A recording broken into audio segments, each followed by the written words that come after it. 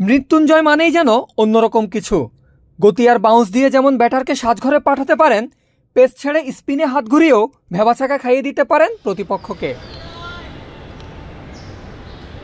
BPL DPL সহ ঘরোয়া ক্রিকেটে যেখানে খেলেছেন, আলো ছড়িয়েছেন মৃত্যুঞ্জয়। সেই আলোর উপহারও পেলেন অবশেষে।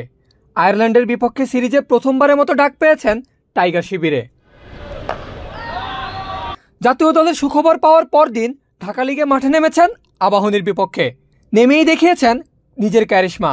ফর্মের আকাশে উঠতে থাকা এনামুল বিজয়কে নামিয়ে এনেছেন মাটিতে। ক্যাচের ফাঁদে ফেলে ফিরিয়েছেন সাজঘরে।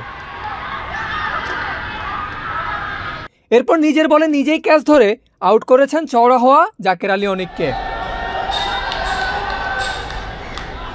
তবে দুই উইকেট পাওয়ার দিনের শুরুটা বেশ ভালো হলেও শেষে বেশ এলোমেলো লেগেছে মৃত্যুঞ্জয়কে। একাধিক ওয়াইডের পাশাপাশি লাইন লেন্থও এলোমেলো লেগেছে, এই বাঁহাতি পেসারকে।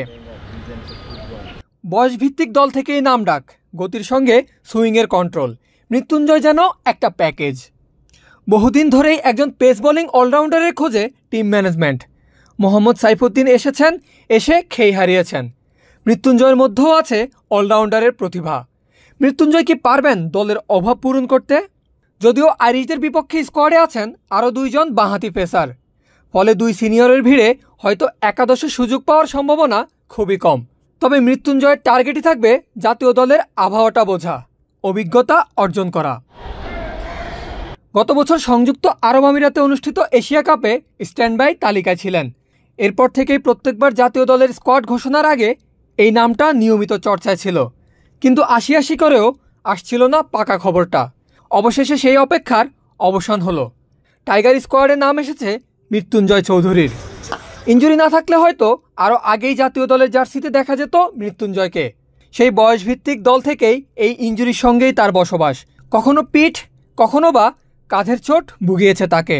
এমনকি এই চোটের কারণেই মিস করেছেন দু হাজার বিশ সালের অনূর্ধ্ব উনিশ বিশ্বকাপ। আর সেই দলটি শেষ পর্যন্ত বিশ্বকাপ জয় করে ঘরে ফিরেছিল। চলমান ঢাকা প্রিমিয়ার লিগে বেশ ভালো ছন্দে আছেন মৃত্যুঞ্জয়। বর্তমান চ্যাম্পিয়ন শেখ জামালের হয়ে এখন অবধি নয় ম্যাচের আট ইনিংসে বল করে পকেটে তুলেছেন চোদ্দ উইকেট। আয়ারল্যান্ড সিরিজের খেলাগুলো হবে ইংল্যান্ডের চেমসফোর্ডে। এর আগে অনূর্ধ্ব উনিশ দলের হয়ে ইংল্যান্ডে খেলার অভিজ্ঞতা আছে মৃত্যুঞ্জয়ের।